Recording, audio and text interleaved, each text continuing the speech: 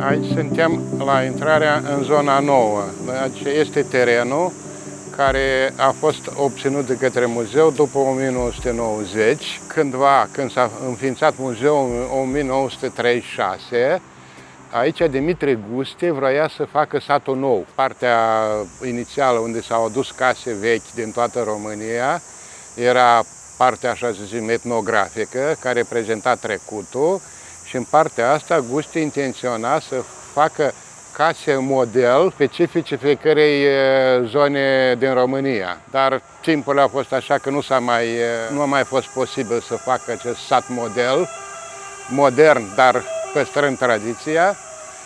Și după 1990 muzeul a obținut acest teren să ilustreze cu totul altceva. Deci aici a fost intenția să se reprezinte și să a început, e în proces de desfășurare, aici să fie reprezentate clădiri de utilitate publică, școală, biserică, cârciumă, primărie, în afară de primărie celelalte deja le avem, deci asta e o temă. A doua temă să fie reprezentate atelierele meșteșugărești și a treia să fie reprezentate minoritățile naționale care nu erau încă reprezentate înainte în muzeu.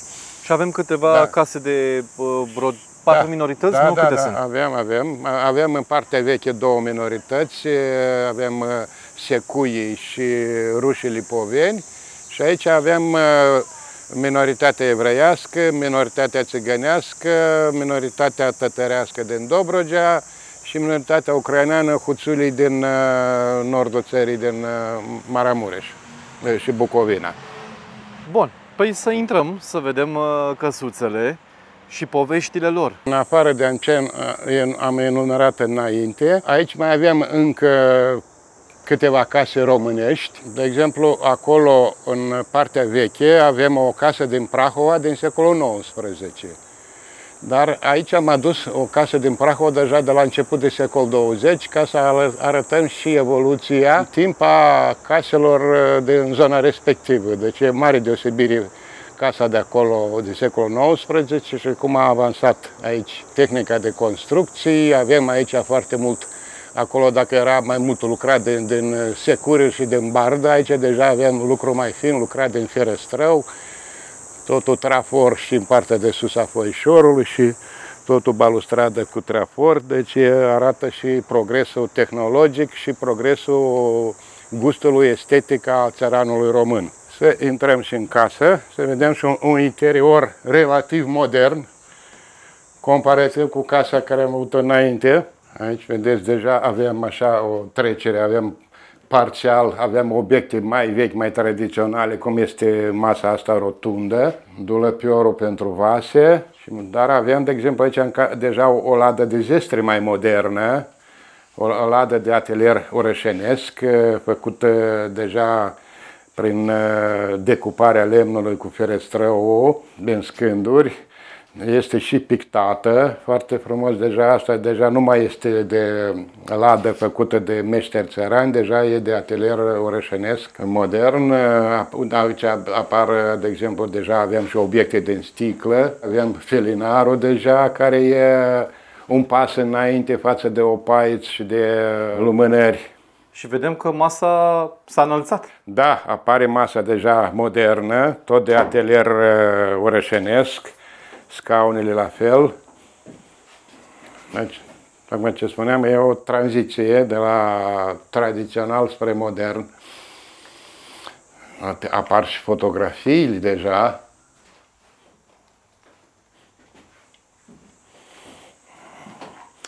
Uite, și aici avem un vas care ilustrează progresul.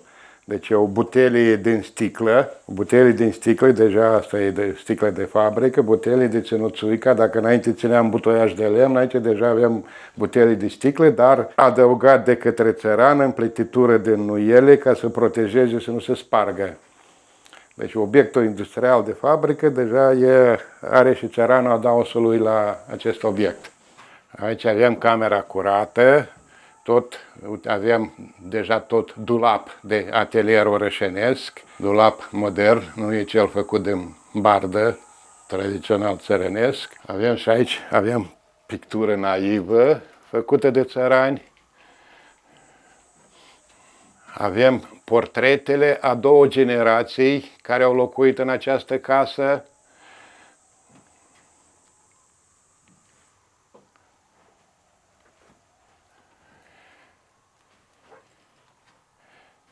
Și avem aici progresul tehnic, apariția radioului deja și în casele țărănești, începând cu cei mai înstăriți, pe urmă a devenit general radio, urmat mai târziu și de televizor. Avem și cărți chiar, biblioteca țăranului apar, deci asta era biblioteca pentru toți, deci era special pentru publicul larg, editați cei mai celebri scriitori. Casa asta este tot din bârne, e tot din lemn construită, dar este tencuită. Ce vedem aici și dincolo la fel, asta nu e pur și simplu ceva așa aplicat decorativ, asta sunt bârnele din pereții transversali care le se capitele în afară, dar sunt acoperite cu tencuială și de asta a ieșit relieful ăsta vopsit altă culoare ca să împartă așa, să nu fie monotonie toată fațada. Deci aici își păstra diverse lucruri țăranul care nu le folosea zilnic și aici le depozita, care erau folosite sezonier. Uite, avem uh, coșuri pentru coles fructe, avem aici un uh, obiect de turnată grăunțile, unelte bardă, secure, greblă, seceră, ferestreu și asta sunt spete spata de țesut. Deci prin asta este spata, prin care se treceau firile în război de țesut. Spata se monta într-un cadru de lemn numit vatale și cu, cu asta se bătea, se trecea firul și se bătea pânza să fie, să, când se țesea, se făcea pânză. Și aici avem un obiect deja așa semi-industrial, uitați-vă aici în interior, e un fel de răzătoare circulară, cum dăm de legume prin răzătoare, asta tot răzătoarea circulară care se învârtea cu manivela și răzătoarea asta prin, răzăia prin învârtire. Deci e un obiect așa deja de trecere la epoca industrială. Am avut și în partea veche o casă din Oltenia. Aici mai avem încă două case din Oltenia, deci e o arhitectură originală oltenească din Gorj, deci gorjenească, accentuez. Deci Gorjul are un stil aparte de arhitectură care nu se întâlnește în alte părți a României. Este prima zonă din România unde a început să construiască case cu etaj. Stilul ăsta, după cât îmi dau eu seama, vine din Balcani. De asta era un fel de casă care putea fi apărată de atacuri. Deci zona asta balcanică erau, năvăleau turcii, erau turci care se răsculau, era Pazoan Techioru care ataca și jefuia, nu mai nu asculta nici de sultan trecea și Dunărea și jefuia Oltenia și Gorjul și deci asta, asta s-a făcut niște case care casa propriu-zisă e sus la etaj, jos e o încăpere fără ferestre care era servea de magazii, de depozit de alimente și de unelte. Casa are terasă de jur împrejur, care deci de acolo de sus putea proprietarii să se apere de năvălitori, trăgând cu pușca sau cu arcul și dacă încercau să urce năvălitorii, puteau să apere și cu sabia, deci avea o scară îngustă de acces pentru a urca la etaj. În uh, Balcani, de exemplu, în Bulgaria, la tipul ăsta de casă îi spune cula. Cula vine cuvânt de limba turcă care înseamnă turn. La ei și turnul televiziunii din Bulgaria tot cula se cheamă. În alte țări din Balcanii se spune cerdac. Exact zilele trecute am găsit undeva prin Croația o casă de genul ăsta, exact așa parter și etaj și cu terasă de jur împrejur și acolo îi spune denumirea de cerdac. Și zice că tocmai era locuință de apărare. De exemplu, în Caucaz, unde tot era război și jafuri tot felul, acolo construiau case turn din piatră care aveau 3-4 nivele. Și tot așa parterul era fără ferestre, fără uși, ca să nu se pătrundă ușor, iar de sus puteau să apere de, de năvălitori. Aici avem mai multe obiecte vechi interesante care țin de, de obiceiurile din uh, Gorj. De exemplu, asta este o masă de parastas. După cum era obiceiul, după ce se înmormânta mortul la cimitir, se făcea un parastas cu alimente pentru sufletul mortului. Undeva la biserică se făcea. În cazul dat, noi neavând unde o expune la biserică, am expus aici pe prispe, unde tot și parastasele nu întotdeauna se făcea la biserică, se putea să face și la Casa Mortului. Deci aici e locul de onoare, aici stătea preotul, de jur împrejur stăteau rudele mortului, unde se mânca și se bea pentru sufletul mortului. Aici aveam și în casă, tot legat cu morții, aveam măsuțe de, po- de pomeni. Cu asta, după cum este obiceiul, pomana mortului se face la 9 zile, la 40 de zile și așa mai departe. Deci cu măsuța asta se mergea la cimitir și asta se punea pe, pe mormânt și pe ea se punea mâncare pentru sufletul mortului. Și tot aici avem un dulap de tehnică foarte veche, arhaică, făcut din bardă, tot fără cuie. Uitați cum se îmbină aici rafturile. Deci avem în interior avem rafturile dulapului și capetele rafturilor. Vedeți cum iese capăt încolo și prinse cu cuie de lemn. Tot dulapul e îmbinat prin dăltuituri și cu cuie de lemn. Dulapuri de astea mai avem și în alte case din Oltenia, dar aici avem un, un obiect unicat e singurul care avem în muzeu și nici nu știu dacă mai există și în alte muzee. Ăsta este un suport pentru uscat vasele de lut. Vasele de lut care se foloseau uh, curent în uh, casă erau nesmălțuite. Și ceramica are pori și ne intră umezeala. Și după ce erau spălate, se puneau așa să se scurgă apa și să se usuce. Deci obiectul ăsta se numește prepeleac. În, în alte zone aveau ceva asemănător undeva afară. Dar ăsta este unicul care, este de, care îl avem noi și care este de interior.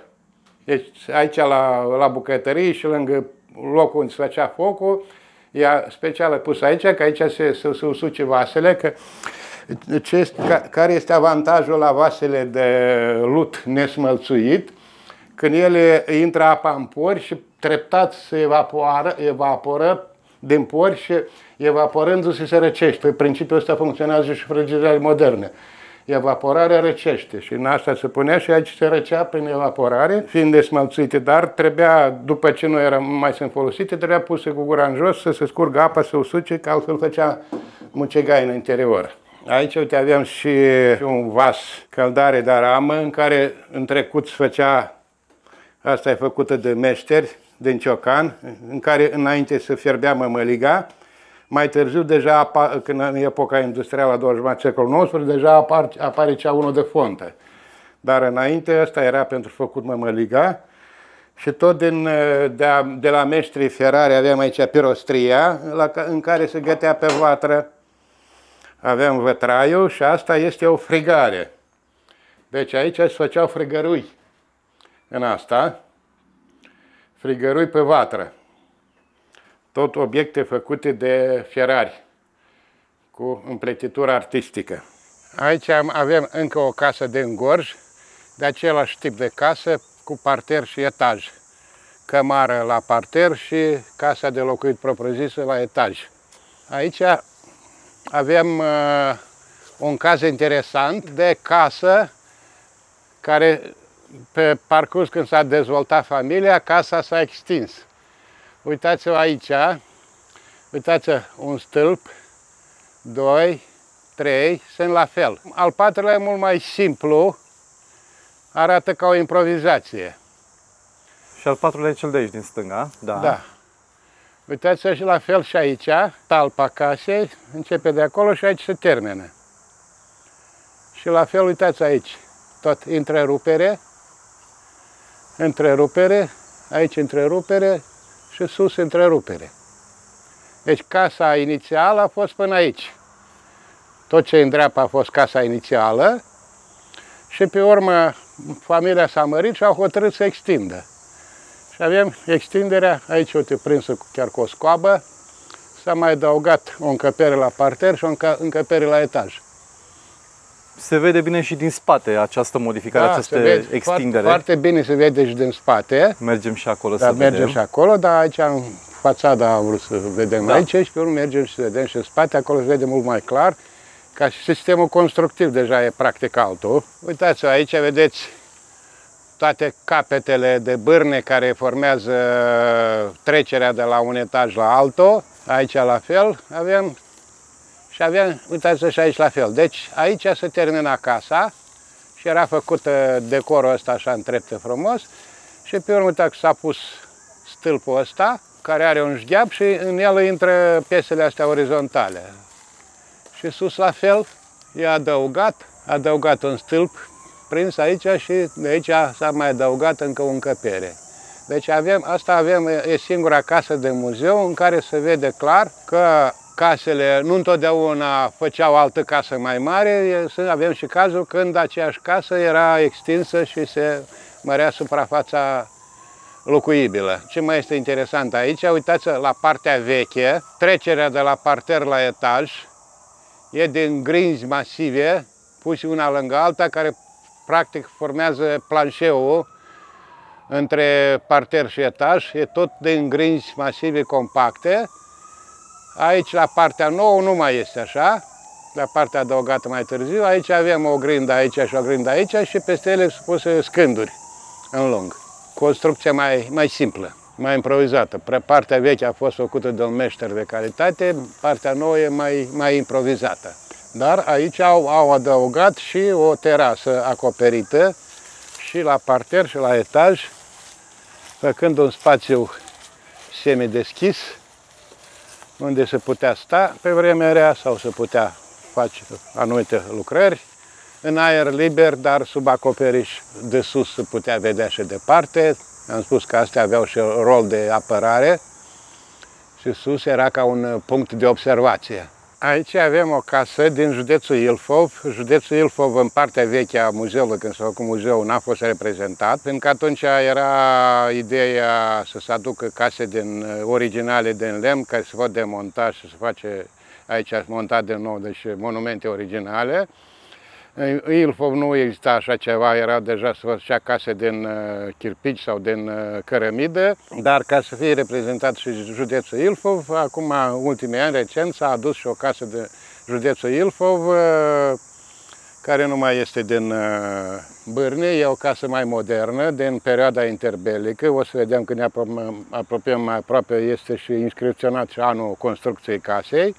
Deci e o gospodărie din zona de câmpie a Munteniei. Vedeți și acoperișul este mai modern deja din tablă. Tabla a apărut deja undeva după primul război mondial, industrializarea luase amploare și s-a început să folosească tabla pentru acoperișuri, dacă înainte numai la biserici, sau pe urmă a ajuns să facă și la case. Și vedeți și forma acoperișului este un acoperiș foarte jos, fiind zonă de câmpie, aici nu era zăpezi mari și nu era pericolul să prăbușească acoperișul, pentru că ninge puțin în zona asta de sud și nici nu ține mult să topește și în perioada respectivă. Acum, practic, nu mai ninge deloc. Ne apropiem de casă, că aici avem o gospodărie întreagă. Avem casa, în continuarea casei avem grajdul pentru animale, avem bucătărie de vară, avem hambar pentru cereale. Aici avem de, de o parte și de alta ușii, acolo avem inițialele proprietarului și dincolo avem anul de construcție. Uitați aici ce au mai gândit uh, locatarii au, și au o oglindă, au nu? încastrat și câte o oglindă și vedeți și stilul de construcție e mai modern, e, casa e tencuită, stucatură, ornament făcut din stucatură și la ferestre și în partea de sus. Pe la colțuri se imit, niște imitații de coloane, deci deja avem altă modă, alt stil de a construi o casă în perioada interbelică. Să aruncăm aici o privire, avem bucătăria de vară, hambarul pentru cereale, acolo în partea dreaptă. Dacă cele mai vechi în trecut erau făcute din uiele, ce deja avem șipci care sunt debitate la ferestrău mecanic, deci aici se vede industrializarea, dar funcția rămâne aceeași, avem ușița de aici, pe aici s-a aruncat porumbul, deci asta era pentru păstra porumbul, de, l-am lăsat așa cu rosturi între șipci ca să circule aerul să se usuce porumbul. Și dincoace avem grajdul pentru animale, vedeți, e clar că sunt ferestre mici, astea sunt pentru grajd, acolo nu era nevoie de lumină foarte puternică și respectiv avem și podul cu intrare. În pod se depozita fânul, care era dat uh, la animale iarna. Și vedeți și ce mai este aici interesant, vedeți, aici se termină peretele grajdului și aici e tavanul, și aici se mai ridică un perete cât de cât ca să înalțe podul să fie volumul mai mare de să încapă mai mult fân. Deci, deci ce vedem aici cu, deja cu scânduri, aici deja e spațiul podului. Că uitați, podul începe aici.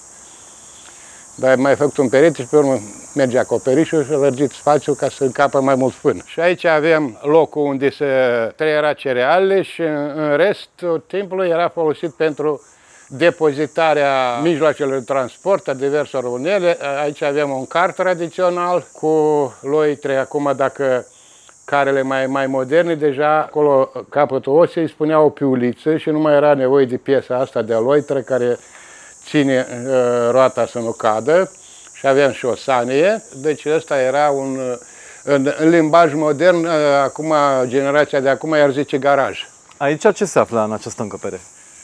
Aici e o debara, o magazie. Să da. vedem și în interior casa. Deci o casă cu mai multe încăperi deja, fiind epoca modernă. Mobilierul respectiv tot este mobilier de, de oraș. Uitați, aici avem și șifonier, deja o piesă de mobilier care nu exista în casele mai vechi. Avem șifonierul. Nu mai avem măsuțe de aia mică, rotundă, cu trei picioare, avem masă modernă, patul la fel e pat modern, făcut din lemn, pat de atelier orășenesc. Avem acolo sus și portretul proprietarilor, deja apare în interiorul casei românești, deja în secolul 20, apar și fotografiile. Erau două cazuri, ori făceau fotografii la nuntă și puneau fotografie la nuntă sau dacă nu au avut atunci ocazie de fotograf, făceau cândva mai târziu și pozau, deci aici e pozare în sensul cel mai strict al cuvântului, stăteau oamenii drepți în fața eternității, știau că nu va mai fi fotografiați altă dată și luau așa o poză solemnă, așa să rămână în memoria fiilor și a nepoților. Deci ei privesc acum în ochii istoriei. Știu că ei nu vor mai fi, dar fotografia va rămâne. Uitați aici în stânga deja apare și broderia, care nu mai e broderia tradițională cu broderii în cruciuliță. Aici deja e așa în formă naturalistă, ca o pictură. Nu e exclus chiar să fi, fi copiată de pe o pictură, să fi făcută broderia. Nu mai e geome- stilul geometric cum avem aici la perdeluța asta. Și perdeluțele tot apar deja în secolul 20, se împletea cu, cu cârligul, avem perdeluțe și la ferestre și la ușă. Deja asta țin de epoca modernă de secolul 20. Și aici avem deja obiectele moderne, aparatul de radio, la care se putea asculta și BBC și Vocea Americii și Europa Liberă, mai ales după război, când era regimul comunist, nu exista libertatea presei, se ascultau postele străine, aveam și mașina de cusut modernă. Acolo era camera de oaspeți, aici aveam camera unde stăteau permanent locatarii, de asta aici avem și sobă. În camera de oaspeți nu era obligatoriu soba, că acolo se încălzeau cu alte metode la sărbători când se întâlneau. Dar aici unde stea permanent deja aveau o sobă. Încă un stil de broderie, tot specific secolului 20, așa zis de gen, cu scene diferite. Aici avem cu animale, apăreau cu păsări, cu păuni, cu curcani, cu o păpușă. Deci asta deja e broderie modernă, nu are nimic cu broderia tradițională, care era abstractă. Și aici avem bucătăria, avem aici bucătăria, tot cu o, sobă și cu plită. Bucătărie, bucătărie mare. Bucătărie, da. Deja avem, am spus, e secolul 20, lumea se extinde, familia crește, cerințele sunt mai mari, spațiu mai larg. Avem, aici avem vase deja de, de fabrică, de sticlă, din porțelan, încă o pictură, o broderie de pictură naivă, cu scene de gen. Avem aici țoiul, de sticle, care inițial era mai prin cârciuni, pe urmă apare și în casă și avem și sifonul, sifonul cu care se făcea șprițul. Sau să băteau copiii de la sifonărie da, până da. acasă. Până noi vedea părinții. Da. Uite, chiar scrie acolo, apă gazoasă, ca să nu încurci cumva. E apă gazoasă. Și vesela deja nu mai e de ceramică, avem tot veselă de fabrică, de porțelan, farfurii, pahare, și astea e tot de, ține de medicină. Ventuzele, da. Ventuzele care spuneau la cei care erau bolnavi. Deci bucătăria avea și intrare separată când venea cu focul, cu murdării, să nu facă prin toată casa, avea și intrare separată, dar era și din camera de locuit să treci la bucătărie să circuli. Deci două, două variante de circulat. Aici suntem în Vrancea, în curbura Carpațelor, zona de trecere între Muntenia și Moldova și stilul tot are stilul respectiv. Deci Vrancea are două sensuri ca și Maramureșul.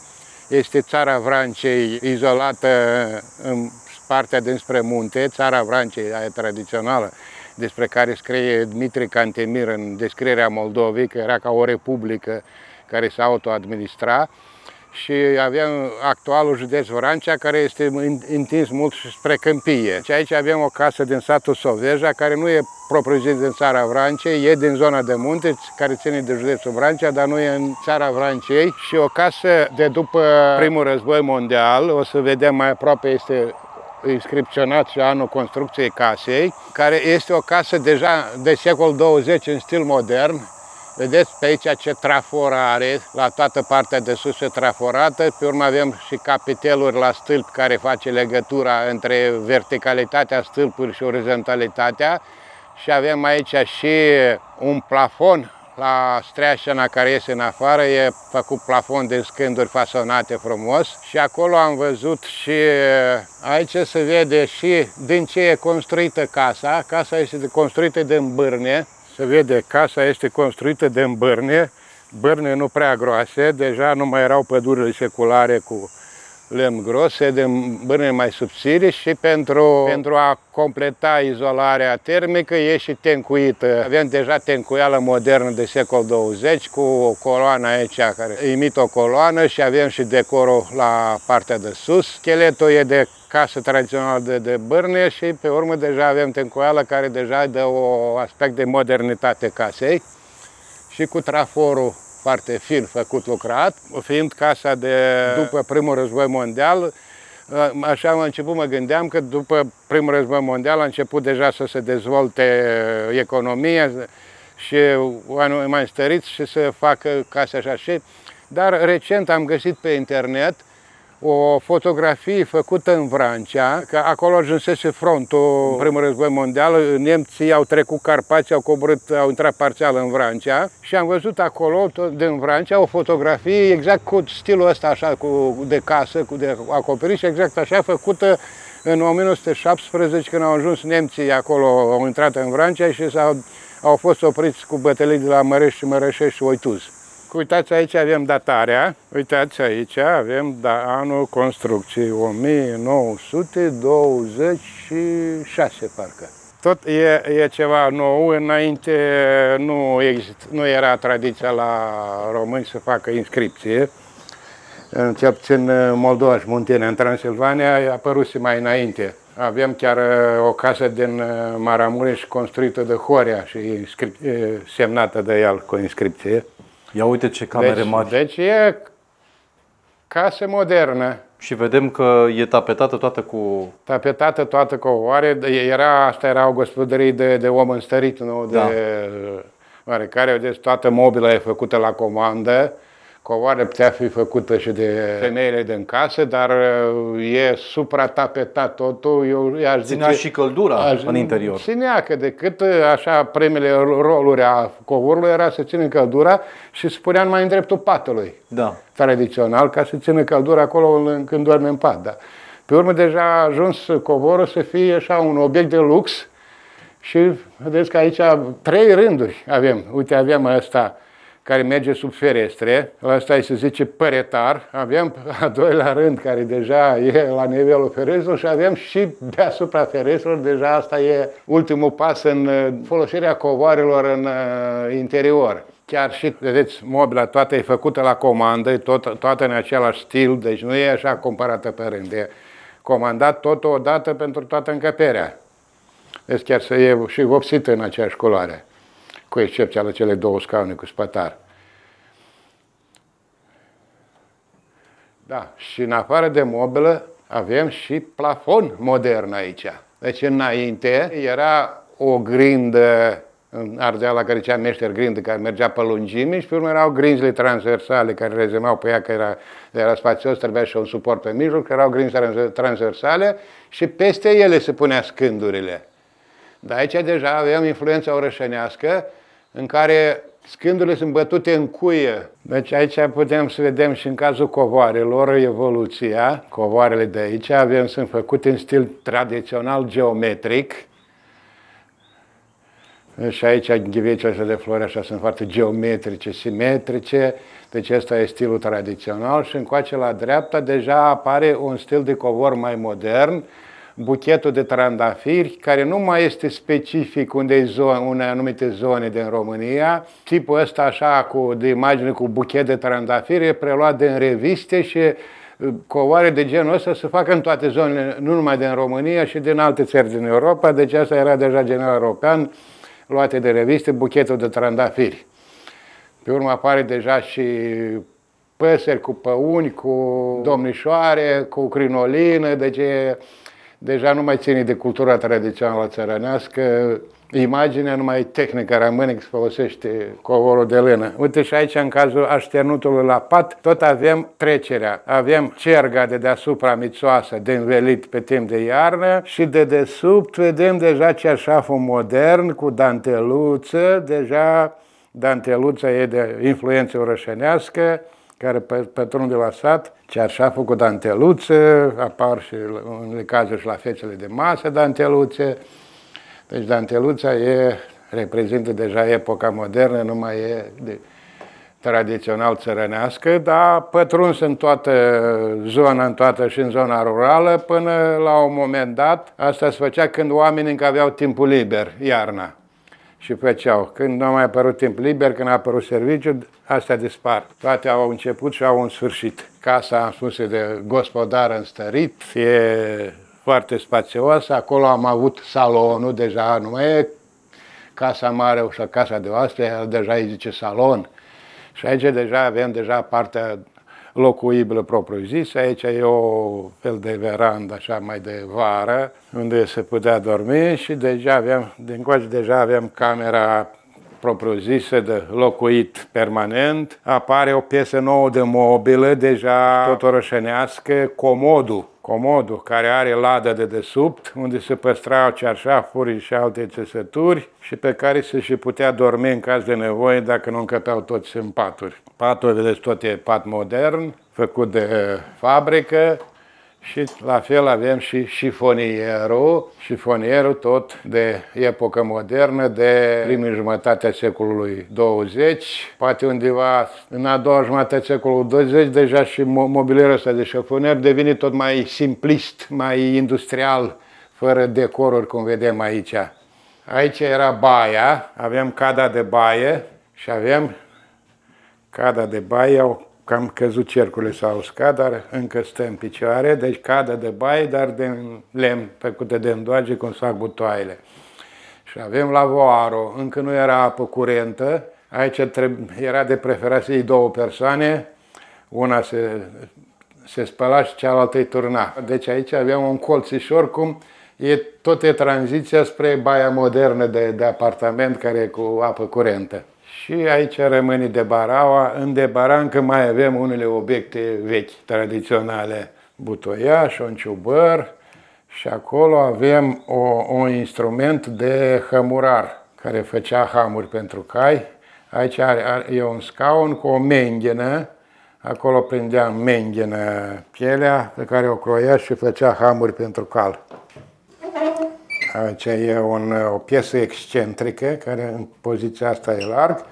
Dacă lăsăm în jos, partea aceea împinge și aici prindea obiectul pentru a lucra. Încă un element aici interesant, vedeți, asta e soba și aici e un gol ca soba asta să încălzească și în cealaltă cameră. Tot e un element mai modern cu o sobă care să încălzească două încăperi. Și făcând focul aici, când, când găteam mâncarea aici, pe urmă fumul se ducea și prin sobă, circula pe acolo în niște zigzaguri așa, dădea căldură cât mai multă sobe și pe urmă ieșea fumul mai departe. Aici avem o construcție care tot apare în secolul 20. care nu exista înainte în satul tradițional, este salonul de dans. Dacă înainte se făceau hore în timpul verii, la Paști, începea sezonul de hori la Paști, continua la alte sărbători mari religioase și cam spre toamnă se terminau, deja apare și mai mult timp liber, tineretul vrea mai multă distracție,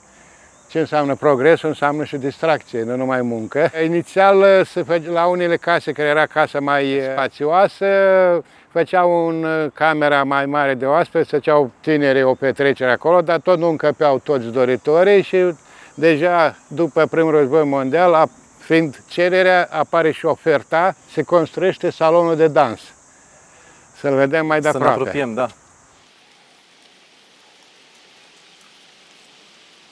Asta putem să-i spunem că deja e o construcție de utilitate publică, o, construcție comunală, nu mai e o construcție pentru uzul unei familii. Deci asta e pentru uz comun, salonul de dans, uitați că chiar scrie aici, salon pe, să nu... Special? Nu, special pentru dans, nu cumva să creadă cineva că e altceva. Da. E și niște podoabe pe acoperiș, e împodobit acoperișul clădirea ca să iasă în evidență, să nu fie confundată nici cu o casă de locuit, nici cu biserica. Deci da, are vedem niște turnuri. Turnulețele mici acolo să deasupra lucarnelor, care dau lumină în pod, dar turnul ăsta e pur decorativ și uitați, acolo avem și o inscripție. Aici era și fotografia proprietarului, dar s-a decolorat de la soare. Inscripția o mai vedem prezentul patron Dumitru Ghibercea, 1928. Trecuseră 10 ani de când s-a terminat războiul, lumea a început să trăiască mai bine și a început să le ardă și de distracție, în special tineretul. Deci construcția e o singură încăpere, cât o vedem de mare, e o singură încăpere, deja e numai pentru distracție, nu are alte... Și era închiriată de tineri, tinerii strângeau bani, închiriau, deci era proprietate particulară, dar de uz public. Proprietarul a cheltuit ca să o construiască și pe urmă își scotea investiția închiriind-o. E o singură încăpere, dar în centru, pe partea opusă intrării, este un podium pe care stătea orchestra. Cu orchestra tot o plăteau tinerii, făceau dansurile, strângeau bani, închiriau orchestra, strângeau mai băieții. Fetele aveau intrare gratuită, să vină cât mai multe. Băieții strângeau bani, închiriau orchestra, închiria spațiu și făceau distracție să petreacă cu fetele, să facă cunoștință. Nu mai era sezonieră, orice, pe orice timp de vreme rea, puteau aici să să se întâlnească tinerii. Am spus că în zona asta avem și clădiri de utilitate publică. Cea mai mare utilitate este școala, copiii în satul tradițional practic făceau două școli. Făceau școala vieții de acasă, la care cea șapte ani de acasă, deci acasă deja de la părinți învățau în primul rând cum să se poarte, ce e bine, ce e rău, ce ai voie să faci, ce n-ai voie să faci. La primii ani de viață, pe urmă, mai târziu începeau să ajute în gospodării, să facă de ajutând părinții să, și imitându-i pe ei și imitarea e o metodă de a învăța practică. Imitându-i pe părinți, făceau și ei de, treptat învățau diverse munci gospodărești, dar a apărut și necesitatea de științe de carte. Fără științe de carte nu poți să ajungi departe. Undeva în a doua jumătate a secolului XIX încep să apară colele și la sate. Întâi erau făcute de dascălii de la biserică, pe urmă, undeva în ultimul sfert de secol încep să apară și învățători și spre sfârșitul secolului XIX mulțesc școlile. E numit ministru al învățământului, profesor universitar Spiru Haret, care ajunge la necesitatea la concluzia că e necesar să se facă un proiect tip de școală, minim strict necesar de școală, să aibă minim două încăperi, două clase, deci face un proiect tip o să vedem aici, chiar vedem și planul. Deci asta era tipicul școlilor e de la acea proiect, vreme. proiect tip de la sfârșitul secolului XIX de școală. În cazul dat, școala asta e făcută de în lemn și e tencuită. Se, fă, se făceau școli de cărămidă și eu, în clasa întâi, am învățat exact în tipul ăsta de școală, tot așa are aici foișorul ăsta, terasă, Aici e prima încăpere, coridorul, stânga-dreapta avem câte o clasă și aici e cancelarea. Învățătorii aveau intrare separată, să nu se ciocnească cu elevii, deci să fie acolo, da? Era clasa 1 și clasa 2, putea, dacă era puțin copii, putea fi întâi și a doua în aceeași încăpere, le dădea temă la unii și pe urmă la alții și a treia și a patra în altă încăpere. Și respectiv deci, sunt și sobe. Sobe în fiecare clasă era sobă. Și ce vedem ieșit din comun sunt aceste geamuri care sunt foarte înalte. Da. Da, ferestrele, în, deci în normativul și în proiectul tip acolo spunea, Spiru Hariet, ferestrele să fie de atâta mărime ca elevul din ultimul rând, din banca din, de la peretele opus, să vadă cerul, fiindcă de la cer vine lumina, atunci nefiind încă curent electric, Trebuia să fie lumina naturală cât mai puternică, să vadă copiii, să învețe să scrie, să citească. Iar nu departe, chiar următoarea casă da. este singura casă din muzeu din piatră. Da, este singura casă din muzeu din piatră care reprezintă și o, și o singură microzonă din România unde s-a construit din piatră. Piatră seacă. Uitați-vă și până și gardul e zidării din piatră seacă fără mortar. Ce înseamnă piatră seacă? Fără mortar, deci fie zidul mai stabil, între, între pietre se pune și mortar care să nu, să nu joace piatră, dar aici e, e, e fără, fără mortar. Deci asta înseamnă piatră seacă, da. piatră fără mortar. Că uitați și stâlpii porții sunt tot din piatră, dar asta e o piatră, vedeți că are așa forma platizată, așa mi-au spus niște geologi că ăsta e lemn petrificat.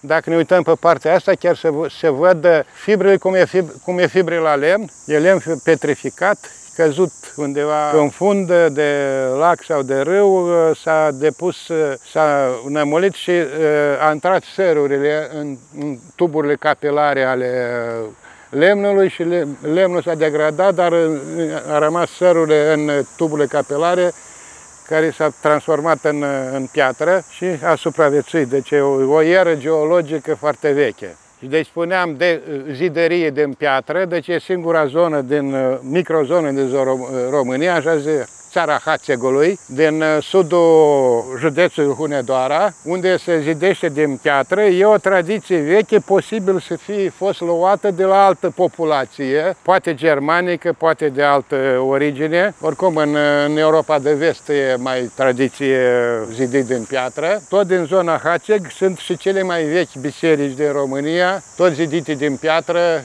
sunt Măria Orlea, Densuș și altele, cele mai vechi construcții din piatră din România, biserici și tot de acolo probabil că s-au luat, au luat uh, stilul de uh, și țăranii să construiască case din piatră. Am observat chiar uh, uh, unele case, am fost în zonă, un perete sau doi construit din piatră și altă, și altă parte din lemn. Aici avem reprezentate tot în partea asta a muzeului mai multe minorități naționale din România și începem cu ultima casă adusă în muzeu, o casă care reprezintă populația romă. În cazul dat este o gospodărie de meșter din satul Calbor, județul Brașov.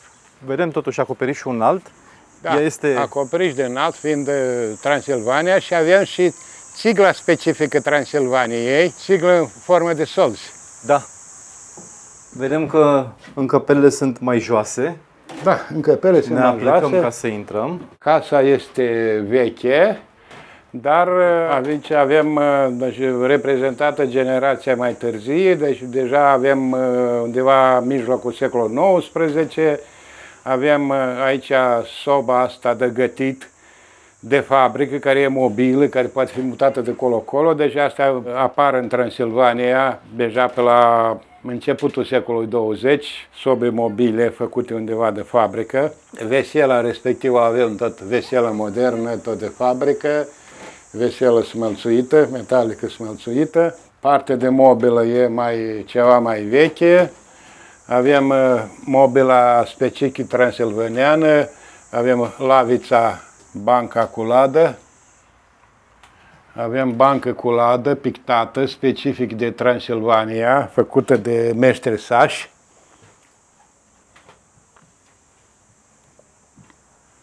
Asta e bancă cu ladă, pe de păstrația setului avem și bancă simplă cu spătar tot specifică Transilvaniei și aici deja asta nu mai e ladă de zestre, Ăsta este un cufăr, un cufăr de transportat în el.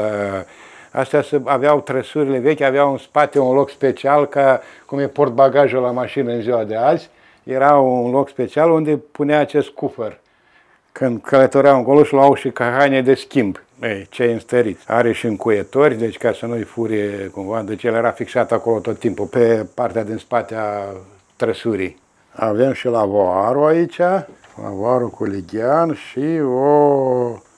Nu știu dacă cine mai știe la ce servește asta. Aici e o curea din piele, pe asta se ascuțea briciu. Înainte de berberit, fiecare dată briciu se ascuțea ca să taie bine. Când încă nu apărusele lamele de, de berberit, uite să vă arăt și briciu. Cine n-a mai văzut brici niciodată? Briciu, deci că e brici, briceag, dar e, e puțin deosebit de briceag. Briceagul se oprește în poziția asta, pe când briciul întorceau atâta și așa se berbereau cu el. Dar trebuia ascuțit de fiecare dată. Și deci era ascuțit foarte bine. Da, pe păi da, ca să taie părul, normal.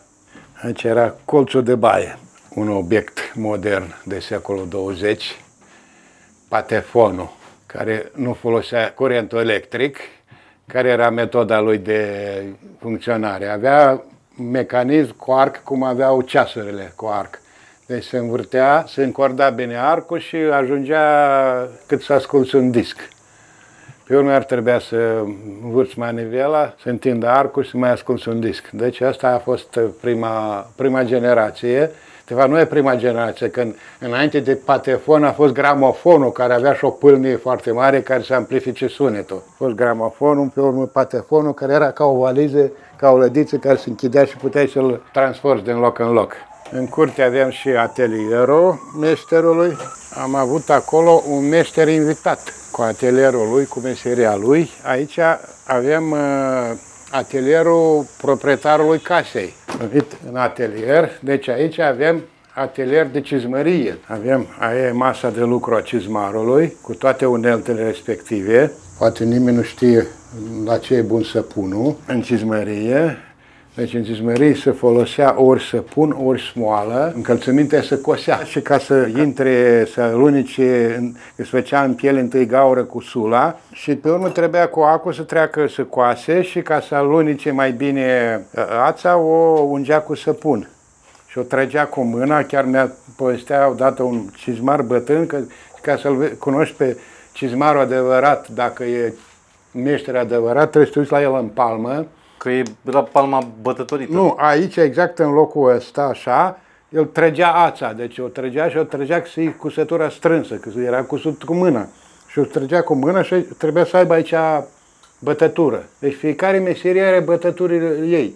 Până și vioriștii au bătătura. Vioriștii au bătătura, uite aici, pe, pe, că aici el sprijină vioara și o ține cu barba. Face aici bătătură. Și pescarii au aici un semn că mereu arată, uite, Cât de mare ce e pește, mare da, da, da, da. Deci fiecare cu meserii cu bătătura cu ei. Uite, asta este cleștele care trage chiar cuiele de pe pielea care vine întoarsă pe calapod de, în zona tălpii, iar cu asta rașchetau această piele care venea pe calapod în zona tălpii, o rașchetau, o făceau foarte fină, după care venea talpa pe ea.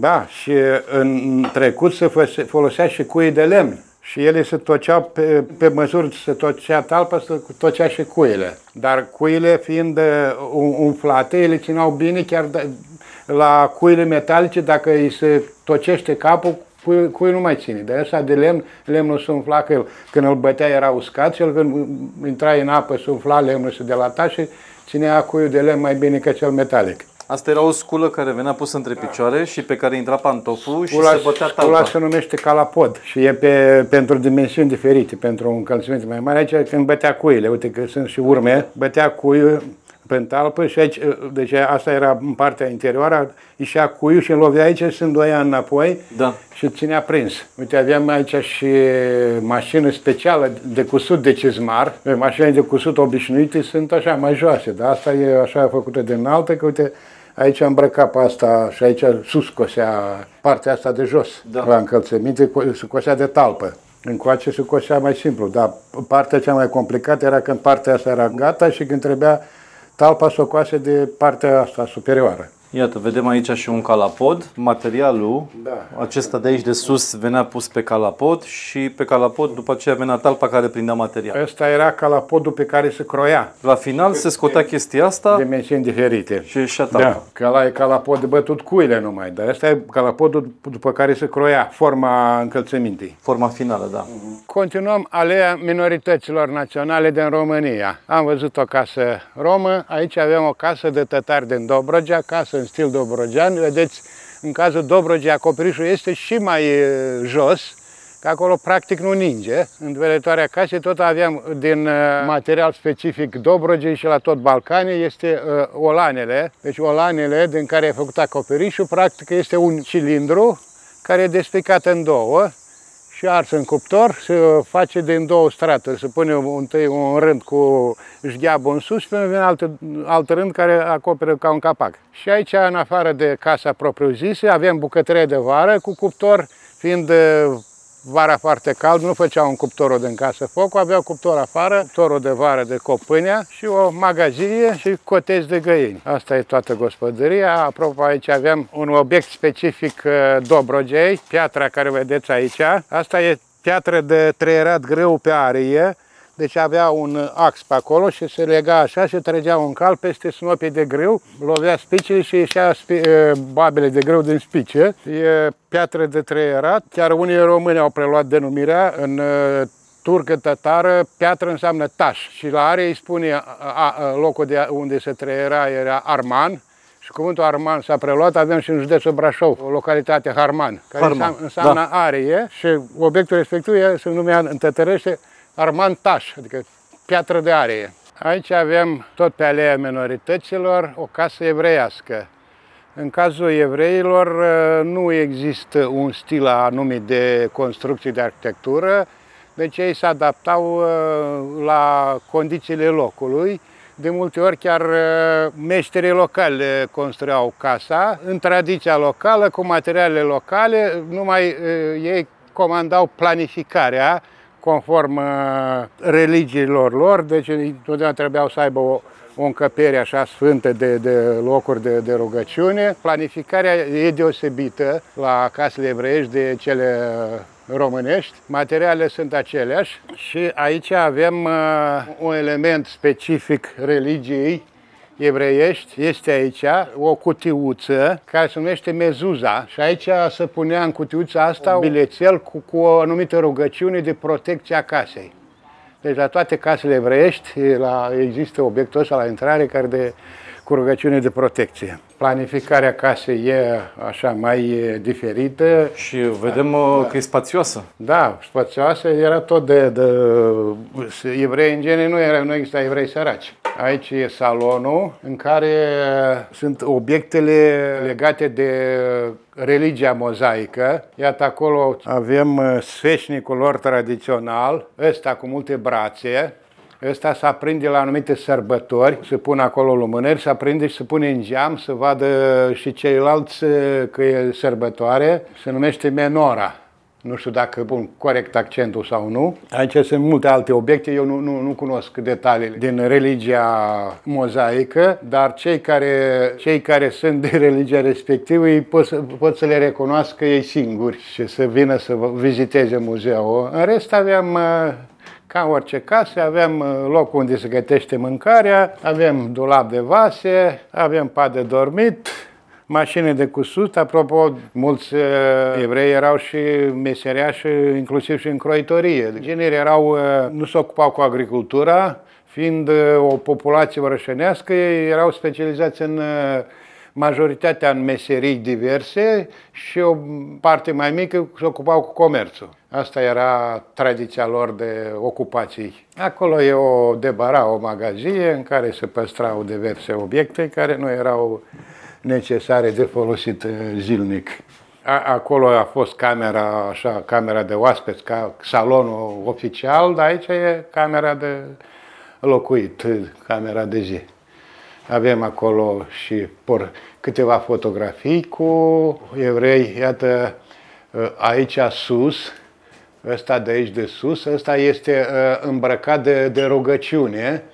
Uite, acolo are, tot are pe frunte așa o cutiuță, tot acolo, în tot niște rugăciuni se conține cutiuța aia și aceea se punea pe frunte, se lega cu o curea când își făcea rugăciunea și șalul ăla care e pus pe umeri, tot ține de momente de rugăciune, are și el denumirea lui, am uitat-o cum se numește, deci când își făcea rugăciune își punea cutiuța pe frunte și punea și șalul ăsta pe umeri și în stilul ăsta își făcea rugăciune. Chiar mai exista și ceva care punea și pe, pe, pe mână, tot așa o cutiuță cu, de ritual. Aici avem atelierul de fererie. Fererie exista în toată țara, în fiecare sat, că era nevoie de potcovit uh, caii, uneori unele părți folosești boi, potcovit și boi, era de ascuți ferul de la plug, de, dar uh, fereria respectivă este într-o zonă metalurgică, unde în secolul trecute chiar scotea minereul de fier și îl în cuptoare îl topeau și fierul ăsta îl prelucrau ferare și făceau unelte,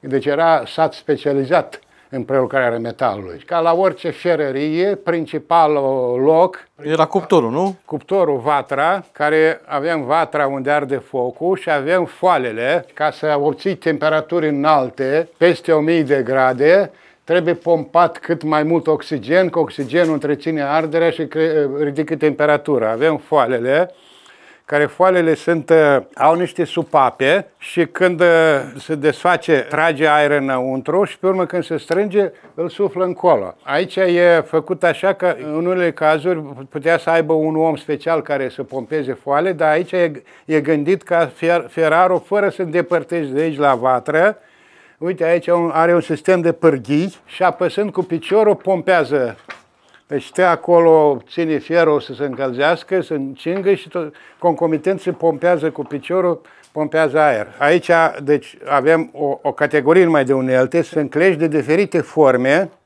pentru diferite forme de, de obiect pe care lucra. Deci aici avem o formă, aici avem cu totul altfel. Deci clești diferiți pentru obiectele diferite ca să le poată ține strâns. Uite, aici altfel de clește.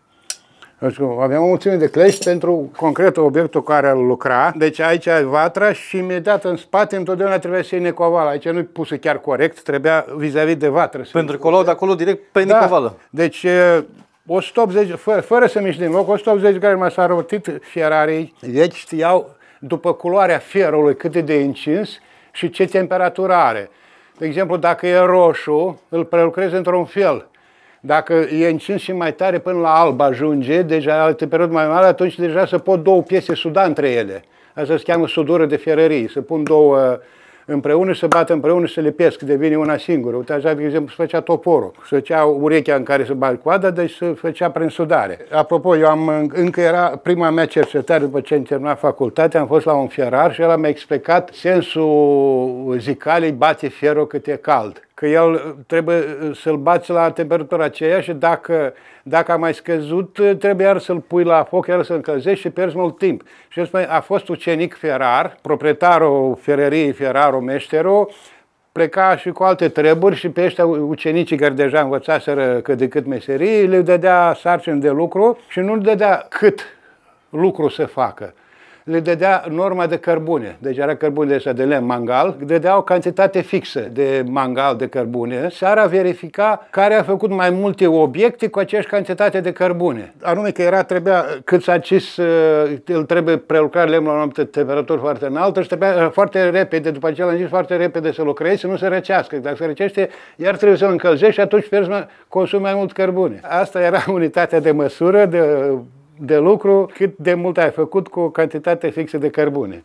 Deci acolo avem, am avut cleștile, aici avem alte obiecte, ciocane, diverse ciocane pentru diverse, tot diferite, diverse operații. Avem ciocane, ăsta, ia, uitați, aveți, are, are deci, niște dințișori, ăsta deja făcea semne pe, pe obiectele gata confecționate. Uite, ăsta are tot alte forme cu dințișori, tot făcea semne pe obiecte, pe obiectele gata. Pe urmă erau și ciocan daltă, de cum avem aici, care tăia o bucată de fier mai mare, făcea o bucată mai mică. Aici avem și roțile la care se, se îmbrăcau cu, cu fier, Uite aici avem deja gata îmbrăcată cu fier, asta se punea o bada ca să nu se tocească roata.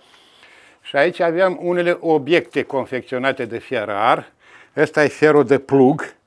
Ăsta merge așa pe pământ și întoarce brazda. Deci asta trebuia, la, trebuia fiecare om, fiecare gospodar să aibă plug și cu fiorul de plug, care periodic îl aducea la ferar și îl ascuțea. Asta este o sapă de munte cu, pentru săpat și v-ați văzut cu semnele. semnele asta e semnul meșterului. Proprietar, cine a făcut asta era semnul de făcut de, de, făcut de meșterul cu tare. Fiecare meșter avea semnul lui. Aici vedem la fel, uitați aici semnul ăla și avem și celălalt semn care m-am mutat și un alt alt semn. Toate erau uh, semnate, care era și de frumusețe făcut, dar era și putea semnul meșterului. Aici deja e mai evoluat cu, tot cu cele două unelte, dar a făcut deja o compoziție cu două unelte de ferar, alea rotundă și cu asta și a făcut o compoziție. Hm, asta e fără decor, asta e de tăiat copaci. Deci, deosebi, care e deosebirea între, uite, astea două unelte? Deci asta are lama mic, îngustă, și fiind îngustă, pe presiunea mai mare și cu asta lovească când tăia copace. Dar asta cu lama lată, cu asta deja prelucra, cioplea cu lama lată și ca să iasă suprafața dreaptă. Acum toată lumea topor, topor, dar exista o, o, o serie întreagă de unelte, fiecare pentru munca ei. Și să mai băga și undeva la călit, nu? După ce... Da, după ce, care trebuia să fie ascuțite, erau, avea un vas cu apă pe care îl călea. Ia uitați așa, aici tot același decor cu două unelte făcut. Da, cu tot altă compoziție. Deci ăsta deja era centru specializat de ferărie, cei mai meșteri din toată România. Păi în acest caz aici terminăm și noi uh, materialul complex făcut în uh, Muzeul uh, Național al Satului, Dimitrie Gusti. Mulțumim tuturor muzeografilor și directorilor care ne-au dat voie și ne-au sprijinit în efectuarea acestui material. Veniți și vizitați, este o atmosferă plăcută, este un loc de relaxare, muzeul în aer liber. Și în acest caz vă mulțumim și dumneavoastră și să ne vedem cu bine și altă dată. Mulțumesc, cu plăcere și așteptăm vizitatori. În Muzeul Satului poți să te odihnești, este muzeu parc, aer liber, cântă păsările, cântă greierei. Este și partea de informație, de cultură, deci plimbându-te pe Muzeul Satului, vezi toată România concentrată pe câteva zeci de hectare de pământ. Exact. Deci în care se poți combina utilul cu plăcutul.